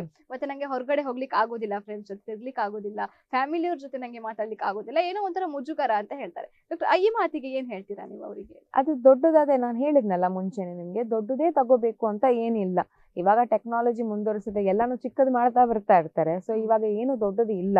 ಸೊ ಅಷ್ಟೊಂದು ತೊಂದರೆ ಇದ್ರೆ ಅಷ್ಟೊಂದು ತುಂಬಾ ನಿಮ್ಗೆ ತೊಂಬತ್ ಪರ್ಸೆಂಟ್ ಮೇಲೆ ತೊಂದರೆ ಅಂತ ಹೇಳಿದ್ರೆ ಕಿವಿ ಹಿಂದ್ಗಡೆ ಹಾಕೊಳ್ಳೋದು ಬಂದೇ ಬರುತ್ತೆ. ಅದು ಸ್ವಲ್ಪ ಅದೇ ನಾನು ಹೇಳಿದ ತರ ಚರ್ಮದ್ದು ಬಣ್ಣದಲ್ಲಿ ನೀವು ತಗೊಬಹುದು ಇಲ್ಲ ನಿಮ್ಗೆ ಕಮ್ಮಿ ತೊಂದರೆ ಇತ್ತ ಹೇಳಿದ್ರೆ ಅದು ಕಿವಿ ಒಳಗಡೆನೆ ಕೂರಂಗೆ ನಾವು ಕೊಡ್ತೀವಿ. ನಿಮ್ಗೆ ಕಾಣದೇ ಇಲ್ಲ ಕಿವಿ ಒಳಗಡೆ ಇರುತ್ತೆ ಅದೇನು ಹೆಡ್ಫೋನ್ಸ್ ತರ ಒಳಗಡೆ ಕೂತಿರುತ್ತೆ ಸೊ ಅದರಿಂದ ಏನು ಆಗಲ್ಲ. ಅದನ್ನ ನಾವು ತುಂಬಾ ಚಿಕ್ಕ ಮಕ್ಳಿಗೆ ಕೊಡಲ್ಲ. ತುಂಬಾ ವಯಸ್ಸಾಗಿರೋರ್ಗೆ ಕೊಡಲ್ಲ. ಬಿಟ್ರೆ ಮಿಡಲ್ ಏಜ್ ಅಲ್ಲಿ ಇರೋರಿಗೆ ಕೊಡ್ತೀವಿ ಅವ್ರಿಗೆ ತೊಂದ್ರೆ ತಕ್ಕಂಗೆ ಕೊಟ್ಟೆ ಕೊಡ್ತೀವಿ. ಜಾಸ್ತಿ ತೊಂದ್ರೆ ಇದ್ರೆ ಸ್ವಲ್ಪ ಯೋಚನೆ ಮಾಡಿ ಅದು ಫಿಟ್ ಆಗತ್ತಾ ಅಂತ ನೋಡಿ ಕೊಡ್ತೀವಿ ಅದನ್ನ. ಚಿಕ್ಕ ಮಕ್ಳು ಬೆಳೀತಾ ಇರ್ತಾರೆ. ಆವಾಗ ನೀವು ಪ್ರತಿ ಸತಿ ಒಂದೊಂದು ವರ್ಷಕ್ಕೂ ಆರಾರು ತಿಂಗಳಿಗೂ. ಅದು ಚೇಂಜ್ ಮಾಡಬೇಕಾಗತ್ತೆ. ಯಾಕಂದ್ರೆ ಅದು ಕಸ್ಟಮೈಸ್ ಎಲ್ಲಾರ್ ಕಿವಿನೂ ಒಂದೇ ಸೈಜ್ ಅಲ್ಲಿ ಇರಲ್ಲ. ಅದು ಕರೆಕ್ಟಾಗಿ ಕೂತಿಲ್ಲ ಅಂದ್ರೆ ಕರೆಕ್ಟಾಗಿ ಆಗಿ ನಿಮ್ಗೆ ಕೆಲಸ ಮಾಡಲ್ಲ. ಸೊ ನಿಮ್ದು ಕಿವಿದು ಅಳತೆ ತಗೊಂಡು ಅದನ್ನ ಮಾಡಿರ್ತಾರೆ. ಸೊ ಪ್ರತಿ ಸತಿ ಆರು ತಿಂಗಳಿಗೂ ಬೆಳೀತಾ ಇರೋ ಮಗುಗೆ ನೀವು ಅದನ್ನ ಮಾಡಿ ಮಾಡಿ ಆಗಲ್ಲ. ಅದೇ ತರ ಇವಾಗ ವಯಸ್ಸಾಗಿದೆ ಅಂತ ಹೇಳಿದ್ರೆ ಅವ್ರು ಅದನ್ನ ಮೇಂಟೈನ್ ಮಾಡೋಕ್ಕೋ ತೆಗಿಯೋಕ್ಕೋ ಒಳಗಡೆ ಹಾಕೋಕ್ಕೂ ಕಷ್ಟ ಆಗುತ್ತೆ. ಅವ್ರದ್ದು ಬಾಡಿಲಿ ಚೇಂಜಸ್ ಇರುತ್ತೆ. ಬೇರೆ ಡ್ರೈ ಆಗುತ್ತೆ ಸ್ವಲ್ಪ ಶ್ರಿಂಕ್ ಆಗುತ್ತೆ. ಅದೆಲ್ಲ ಆದಾಗ ಅದು ಫಿಟ್ಟಿಂಗ್ ಕರೆಕ್ಟಾಗಿ ಕೂರಲ್ಲ. ಸೊ ಆ ವಯಸ್ಸಾನವ್ರಿಗೆ ಎಕ್ಸ್ಟ್ರೀಮ್ ಆಗಿರೋ ವಯಸ್ಸಾನವ್ರಿಗೆ ಅದನ್ನು ಕೊಡಲ್ಲ. ಬಿಟ್ಟರೆ ಈ ಥರ ಕಾಲೇಜ್ ಹೋಗೋ ಮಕ್ಳಿಗೆ ಅವ್ರಿಗೆ ಮಿಡಲ್ ಏಜ್ ಫಾರ್ಟಿ ಫಿಫ್ಟಿ ಅವ್ರಿಗಿರೋರಿಗೆಲ್ಲ ಕೊಡ್ತೀವಿ. ಎಷ್ಟೊಂದು ಜನ ಹಾಕ್ಕೊಂಡು ನಿಮ್ಗೆ ಗೊತ್ತೇ ಆಗಲ್ಲ ಎಷ್ಟೊಂದು ಜನ ಹಾಕೊಂಡಿದ್ದಾರೆ ಅಂತ. ಹಾಕೊಂಡು ಉಪಯೋಗಿಸ್ತಾರೆ. ಓಕೆ ಡಾಕ್ಟರ್ ಹಾಗೆ ಇದು ಹಿಯರಿಂಗ್ ಏಡ್ ಬಗ್ಗೆ ನಾವು ಕೆಲವೊಂದು ಮಿತ್ಸ್ ಬಗ್ಗೆ ನಾವು ನಾವೀಗ ಡಿಸ್ಕಸ್ ಮಾಡಿದ್ದೇವೆ. ಡಾಕ್ಟರ್ ಇನ್ನೊಂದು ಮಾತು ಬರ್ತದೆ. ಕೆಲವೊಂದು ಹಿಯರಿಂಗ್ ಏಡ್ನಿಂದ ಶಿಳ್ಳೆ ಹೊಡೆದಂತ ಒಂದು ಶಬ್ದ ಬರ್ತದೆ ಅಂತ ಹೇಳ್ತಾರೆ. ಹೌದಾ ಇದು?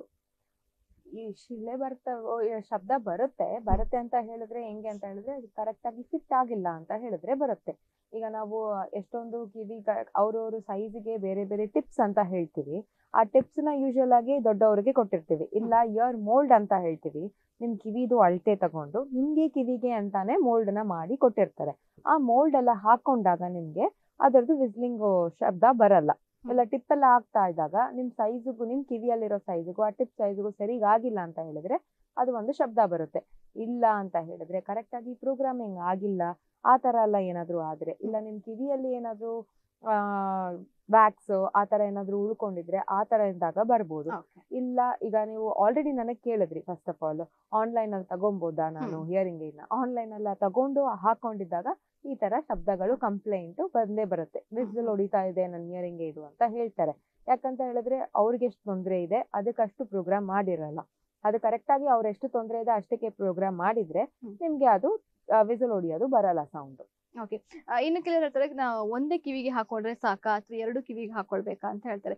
ಓಕೆ ಈಗ ಒಬ್ರಿಗೆ ಈಗ ಸಮಸ್ಯೆ ಇದೆ ಅಂತ ಅಂದಾಗ ಅವ್ರು ಒಂದು ಕಿವಿಗೆ ಹಾಕೊಂಡ್ರೆ ಸಾಕಾಗ್ತದೆ ಡಾಕ್ಟರ್ ಇಲ್ಲ ಎರಡು ಕಿವಿಯಲ್ಲಿ ನಾವು ಯೂಶಲಿ ಕೇಳಿಸ್ಕೊತೀವಿ. ಸೊ ಯೂಶಲಿ ನಾವೇನ್ ಹೇಳ್ತೀವಿ ಅಂತ ಹೇಳಿದ್ರೆ ಯಾವ ಈಗ ಒಂದೇ ಕಿವಿಯಲ್ಲಿ ತೊಂದರೆ ಇದ್ರೆ ಒಂದೇ ಕಿವಿಯಲ್ಲಿ ಹಾಕೋಬಹುದು ಎರಡು ಎರಡೂ ಕಿವಿಯಲ್ಲಿ ನಿಮ್ಗೆ ತೊಂದರೆ ಇದೆ ಎರಡೂ ಕಿವಿ ಕೇಳಿಸೋದು ಕಮ್ಮಿ ಆಗಿದೆ ಅಂತ ಹೇಳಿದಾಗ ಎರಡೂ ಕಿವಿಯಲ್ಲಿ ಹಾಕೊಂಡ್ರೆ ಅದು ಉತ್ತಮ. ಯಾಕೆ ಅಂತ ಹೇಳಿದ್ರೆ ಈಗ ಎಲ್ಲಿಂದ ಶಬ್ದ ಬರ್ತಿದೆ ಅಂತ ಹೇಳಿದಾಗ ಒಂದು ಕಿವಿಯಲ್ಲಿ ಮಾತ್ರ ನೀವು ಮೆಷಿನ್ ಹಾಕೊಂಡ್ರೆ ಎಲ್ಲಿಂದ ಶಬ್ದ ಬರ್ತಿದೆ ಅಂತ ನಿಮಗೆ ಗೊತ್ತಾಗಲ್ಲ. ಈಗ ನೀವು ರೈಟ್ ಸೈಡ್ ಮಾತ್ರ ಇಯರಿಂಗ್ ಏಡ್ ಹಾಕೊಂಡಿದ್ದೀರಾ ಲೆಫ್ಟ್ ಸೈಡು ನಿಮ್ಗೆ ಕಿವಿ ಕೇಳಿಸೋ ತೊಂದರೆ ಇದೆ ಅಂತ ಹೇಳಿದ್ರೆ ರೈಟ್ ಸೈಡ್ ಅಲ್ಲಿ ಮಾತಾಡಿದ್ರೆ ರೈಟ್ ಸೈಡ್ ಅಲ್ಲಿ ಬರ್ತಾ ಇರೋ ಶಬ್ದ ಅವೆಲ್ಲ ಚೆನ್ನಾಗಿ ಕೇಳಿಸುತ್ತೆ. ಅದು ಬಿಟ್ರೆ ನಿಮ್ಗೆ ಲೆಫ್ಟ್ ಸೈಡ್ ಅಲ್ಲಿ ಕೇಳಿಸೋದೆಲ್ಲ ಕಮ್ಮಿ ಕೇಳಿಸುತ್ತೆ. ಈಗ ನಿಮ್ ಹಿಂದೆಯಿಂದ ಮಾತಾಡ್ತಾ ಇದ್ದಾರೆ ಇಲ್ಲ ಮುಂದೆಯಿಂದ ಸೈಡ್ ಇಂದ ಮಾತಾಡ್ತಾ ಇರ ಇದ್ದಾರೆ ಅಂತ ಹೇಳಿದ್ರೆ ಅದು ಕೇಳಿಸಲ್ಲ. ಈಗ ನಾವು ಒಂದು ಕಿವಿ, ಒಂದು ಕಣ್ಣು ಮಾತ್ರ ನನಗೆ ಚೆನ್ನಾಗಿ ಕಾಣಿಸಿದ್ರೆ ಆಗುತ್ತೆ ಅಂತ ಹೇಳಿದ್ರೆ ಹೇಳಲ್ಲ ಅಲ್ವಾ? ಅದೇ ತರ ಎರಡು ಕಿವಿಯಲ್ಲಿ ತೊಂದರೆ ಇದ್ದಾಗ ನೀವು ದಯವಿಟ್ಟು ಎರಡೂ ಕಿವಿಗೂ ಹಾಕೊಳ್ಳಿ. ಅವಾಗ ನಿಮ್ಗೆ ನಾರ್ಮಲ್ ಆಗಿ ಇವಾಗ ಕಿವಿ ಚೆನ್ನಾಗಿ ಕೇಳಿಸ್ದಾಗ ಹೆಂಗ್ ಕೇಳಿಸ್ಕೊಂಡ್ರೋ ಹಂಗೆ ಕೇಳಿಸುತ್ತೆ. ಇಲ್ಲ ನೀವು ಒಂದೇ ಕಿವಿ ಹಾಕೊಂಡ್ರೆ ಈ ತರ ಕಷ್ಟ ಬರುತ್ತೆ. ಒಂದ್ ಕಡೆ ಮಾತಾಡೋದು ಕೇಳಿಸುತ್ತೆ ಒಂದ್ ಕಡೆ ಮಾತಾಡೋದು ಕೇಳಿಸಲ್ಲ. ಎಲ್ಲಿಂದ ಶಬ್ದ ಬರ್ತಿದೆ ಅಲ್ಲಿ ಯಾವ ಕಡೆಯಿಂದ ನನ್ನ ಕೂಗ್ತಾ ಇದ್ದಾರೆ ಅದೆಲ್ಲ ಗೊತ್ತಾಗಕ್ಕೆ ತುಂಬಾ ಕಷ್ಟ ಆಗುತ್ತೆ. ಓಕೆ ಇನ್ನು ನೈಟ್ ಸ್ಲೀಪಿಂಗ್ ಟೈಮ್ ಅಲ್ಲಿ ಅದನ್ನ ರಿಮೂವ್ ಮಾಡ್ಬೋದಾ ಡಾಕ್ಟರ್ ರಿಮೂವ್ ಮಾಡಿ ಇಡಬೇಕು. ಈಗ ನಾವು ಸ್ಲೀಪಿಂಗ್ ಟೈಮ್ ಅಲ್ಲಿ ಹಿಯರಿಂಗ್ ಏಡ್ನ ಮಲ್ಗೋಲಕ್ ಮಲ್ ಮಲ್ಕೊಳ್ಳೋಕ್ ಮುಂಚೆ ನಾವು ಅದನ್ನ ರಿಮೂವ್ ಮಾಡಿ ಇಟ್ಟು ಬಾಕ್ಸ್ ಅಲ್ಲಿ ಇಟ್ಟು.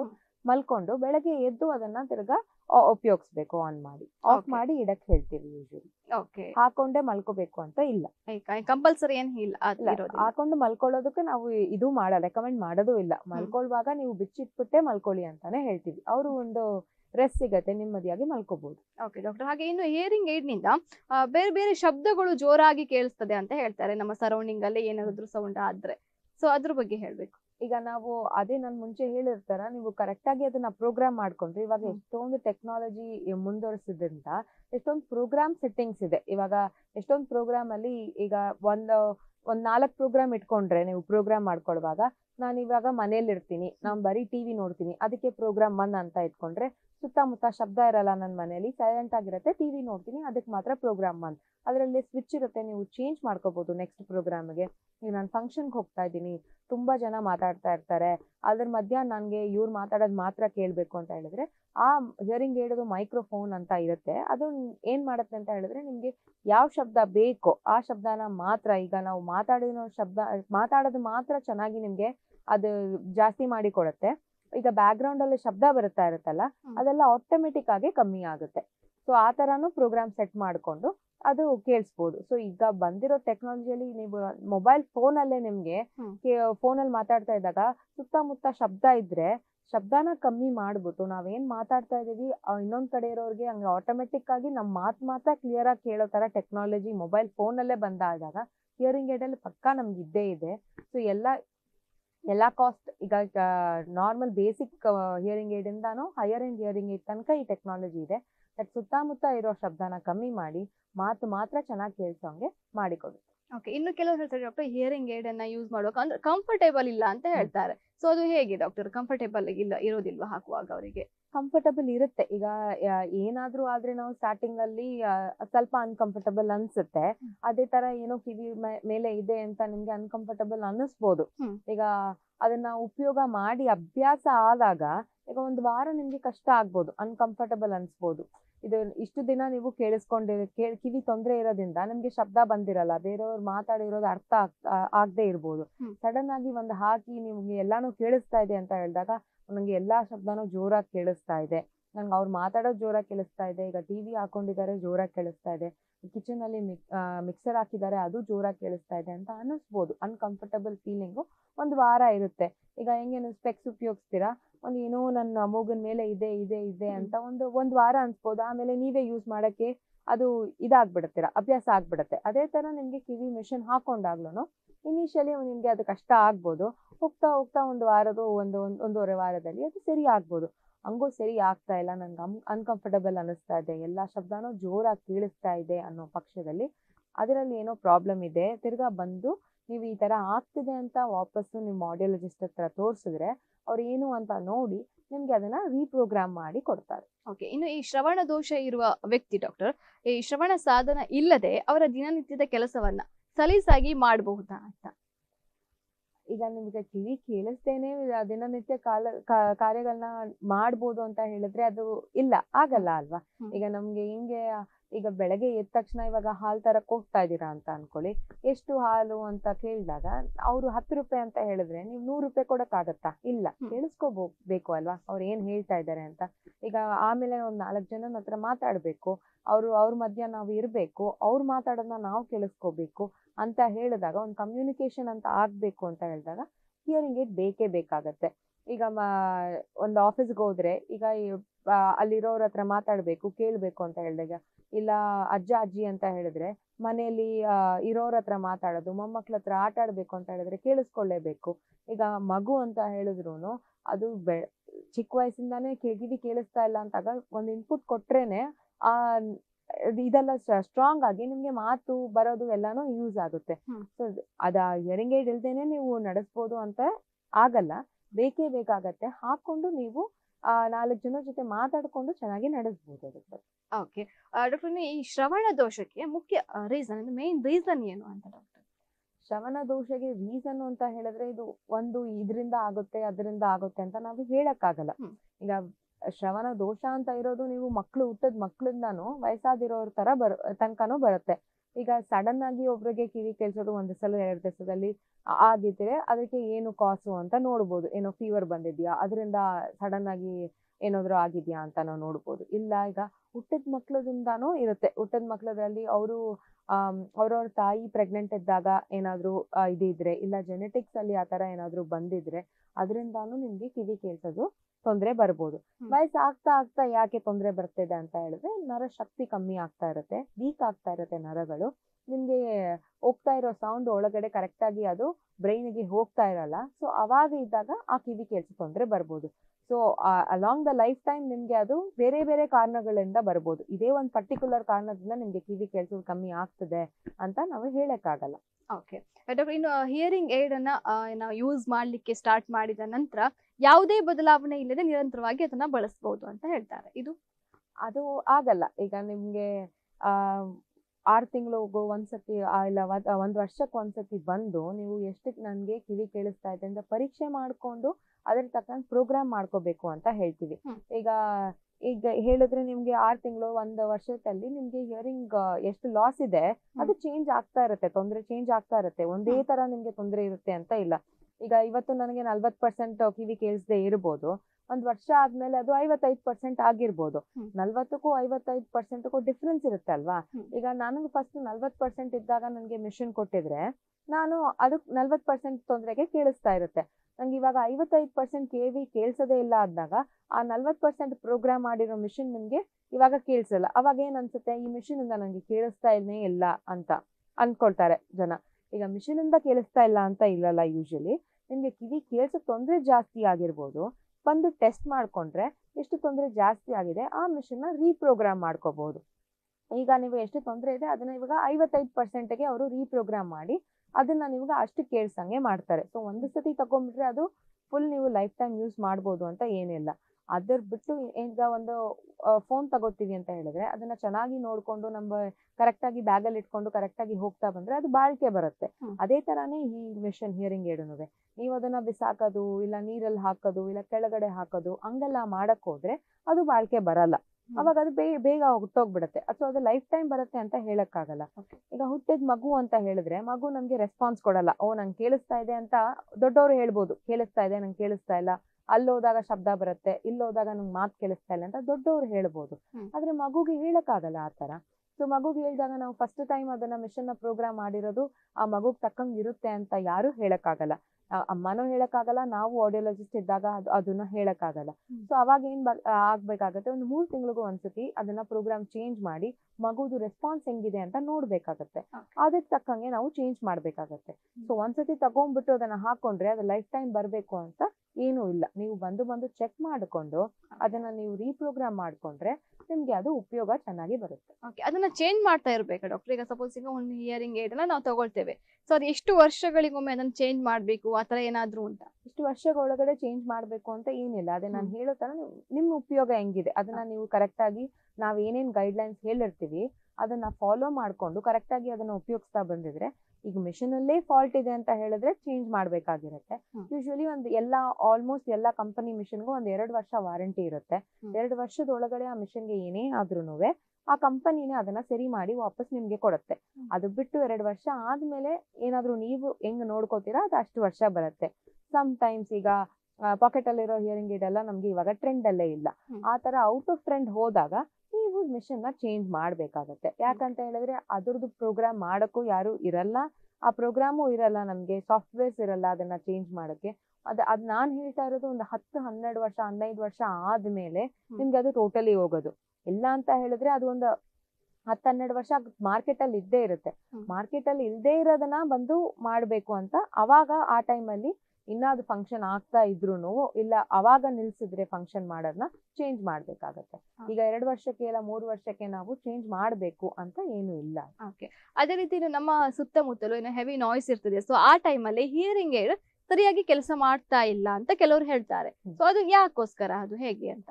ಇಲ್ಲ ಅದು ನಾಯ್ಸ್ ಇದ್ದಾಗ ಅದು ಮುಂಚೆ ಇದ್ದಿದ್ದು ಪ್ರಾಬ್ಲಮ್ ಮುಂಚೆ ಇವಾಗ ಮುಂಚೆ ಟೆಕ್ನಾಲಜಿ ಎಲ್ಲ ಸ್ವಲ್ಪ ಅನಲಾಗ್ ಟೆಕ್ನಾಲಜಿ ಇತ್ತು. ಇವಾಗ ಎಲ್ಲ ಡಿಜಿಟಲ್ ಟೆಕ್ನಾಲಜಿ ಬಂದಿದೆ ಸೊ ಡಿಜಿಟಲ್ ಡಿಜಿಟಲ್ ಟೆಕ್ನಾಲಜಿಯಿಂದ ಏನಾಗ್ತದೆ ಅಂತ ಹೇಳಿದ್ರೆ ನಿಮ್ಗೆ ಮಾತು ಚೆನ್ನಾಗಿ ಕೇಳಿಸಿ ಸುತ್ತಮುತ್ತ ಇದು ಶಬ್ದ ಎಲ್ಲ ಕಮ್ಮಿ ಮಾಡಿ ಕೊಡಂಗೆ ಹಾಕ್ತಾ ಇರೋದ್ರಿಂದ ಅದು ಇವ ಇದು ಹಳೆ ಮಾತು ಆಕ್ಚುಲಿ ಇವಾಗ ಹೊಸದಾಗಿ ಯಾರು ಇವಾಗ ಈ ತರ ಎಲ್ಲ ಕಂಪ್ಲೇಂಟ್ ಮಾಡಲ್ಲ. ಯಾಕಂತ ಹೇಳಿದ್ರೆ ಅವ್ರ ಮಾತು ಚೆನ್ನಾಗಿ ಕೇಳಿಸ್ದಂಗೆ ನಾವು ಪ್ರೋಗ್ರಾಮ್ ಮಾಡಿ ಕೊಟ್ಟಿರ್ತೀವಿ. ಅದಕ್ಕೆ ಸ್ಪೆಷಲ್ ಸಿಚುವೇಶನ್ಸ್ಗೂ ಪ್ರೋಗ್ರಾಮ್ ಇಟ್ಟಿರ್ತೀವಿ ಬೇಕಾದ್ರೆ. ಅವ್ರು ಪ್ರೋಗ್ರಾಮ್ ಚೇಂಜ್ ಮಾಡ್ಕೊಂಡು ಫಂಕ್ಷನ್ಗೆ ಹೋಗ್ತಾ ಇದ್ದೀನಿ. ಇಲ್ಲ ಒಂದು ಕಾನ್ಸರ್ಟ್ಗೆ ಹೋಗ್ತಾ ಇದ್ದೀನಿ ಅಂದ್ರೆ ಚೇಂಜ್ ಮಾಡ್ಕೊಂಡು ಯೂಸ್ ಮಾಡ್ಕೋಬಹುದು ಇನ್ನು ಮುಖ್ಯವಾದ ಪ್ರಶ್ನೆ ಅಂದ್ರೆ ಎಲ್ಲರೂ ಕೇಳುವಂತ ಒಂದು ಪ್ರಶ್ನೆ. ಸೊ ಈ ಹಿಯರಿಂಗ್ ಏಡ್ ಯೂಸ್ ಮಾಡಿದ್ಮೇಲೆ ನನಗೆ ಮೊಬೈಲ್ ಅಲ್ಲಿ ಮಾತಾಡ್ಲಿಕ್ಕೆ ಆಗುದಿಲ್ಲ ಕಷ್ಟ ಆಗ್ತದೆ. ಬ್ಲೂಟೂತ್ ಅನ್ನ ಹಾಕ್- ಹಾಕ್ಲು ಹಾಕೊಳ್ಳಿಕ್ ಆಗುದಿಲ್ಲ ಇಯರ್ಫೋನ್ ಹಾಕೊಳ್ಳಿಕ್ ಆಗುದಿಲ್ಲ ಹೆಡ್ಫೋನ್ ಯೂಸ್ ಮಾಡ್ಲಿಕ್ಕೆ ಆಗೋದಿಲ್ಲ ಅಂತ ಹೇಳ್ತಾರೆ. ಸೊ ಅವಾಗ ಹೇಗೆ ಮ್ಯಾನೇಜ್ ಮಾಡ್ಬೋದು? ಇದು ನಾರ್ಮಲಿ ಎಲ್ಲರೂ ಕೇಳುವಂತ ಪ್ರಶ್ನೆ ಇವಾಗ. ಹೌದು ಎಲ್ಲರಿಗೂ ಈಗ ಮೊಬೈಲ್ ಅಲ್ಲಿ ಮಾತಾಡ್ತಾರೆ. ಮೊಬೈಲ್ ಅಲ್ಲಿ ಫೋನ್ ಬರುತ್ತೆ. ಎಲ್ಲರ ಹತ್ರನೂ ಮೊಬೈಲ್ ಇದೆ. ಸೊ ಅದು ಒಂದು ಬೇಸಿಕ್ ನೆಸೆಸಿಟಿ. ಆಗ್ಬಿಟ್ಟಿದೆ. ಸೊ ಇವಾಗ ನಮ್ಮ ಕಿವಿ ಹಿಯರಿಂಗ್ ಏಡ್ ಅಲ್ಲಿ ಮೈಕ್ರೋಫೋನ್ ಅಂತ ಇರುತ್ತೆ. ಯೂಶಲಿ ಕಿವಿ ಹಿಂದ್ಗಡೆ ಅಂತ ಹೇಳಿದ್ರೆ ಮೈಕ್ರೋಫೋನ್ ಇಲ್ಲೇ ಇರುತ್ತೆ. ಅಲ್ಲೇ ಇಟ್ಟು ನಿಮ್ಗೆ ಫೋನ್ ಮಾತಾಡಿದ್ರೆ ಅದು ಕೇಳ್ಸೇ ಕೇಳಿಸುತ್ತೆ, ಏನು ತೊಂದರೆ ಇಲ್ಲ. ಅದ್ರ ಬಿಟ್ಟು ಈಗ ಅಡ್ವಾನ್ಸ್ ಟೆಕ್ನಾಲಜಿ ಎಲ್ಲ ಇದೆ. ನಿಮ್ದು ಮೊಬೈಲ್ ಅಲ್ಲಿ ಬ್ಲೂಟೂತ್ ಟೆಕ್ನಾಲಜಿ ಇದ್ರೆ ಆ ಬ್ಲೂಟೂತ್ ಟೆಕ್ನಾಲಜಿಯಿಂದ ನಿಮ್ದು ಹಿಯರಿಂಗ್ ಏಡ್ಗೆ ಕನೆಕ್ಟ್ ಮಾಡಿಕೊಂಡು ಮ್ಯೂಸಿಕ್ ಇಂದಾನು ಕೇಳ್ಬೋದು. ಈಗ ಯಂಗರ್ ಜನರೇಷನ್ ಮ್ಯೂಸಿಕ್ ಕೇಳಬೇಕು ಅಂತ ಹೇಳಿದ್ರೆ ಬ್ಲೂಟೂತ್ ಕನೆಕ್ಟಿವಿಟಿಯಿಂದ ಮ್ಯೂಸಿಕ್ ಕೇಳ್ಬೋದು. ಅದೇ ಬ್ಲೂಟೂತ್ ಅಲ್ಲಿ ಫೋನ್ ಫೋನ್ ಎಲ್ಲ ತಗೋಬಹುದು ಎಲ್ಲ ಮಾತಾಡ್ಬೋದು. ಅದು ಬಿಟ್ಟು ನಮ್ದು ಇದು ಇದೆ ಆ್ಯಪು ಇದೆ.